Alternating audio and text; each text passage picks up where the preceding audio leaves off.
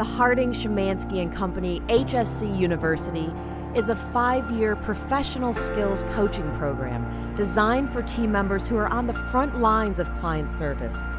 Classes are held in person so team members build relationships with their peers regardless of office and to collaborate in real time on issues related to the firm, the projects they are working on, and how to best serve their clients, reinforcing their culture of one firm, one team.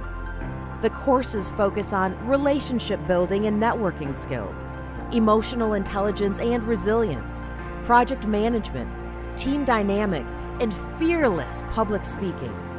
Not only has the program increased morale and productivity, participants have given kudos to HSCU with comments such as The training yesterday focused on relationship building with coworkers, which I found very beneficial since I've only been with Harding for two months and am still on the process of developing relationships within the firm.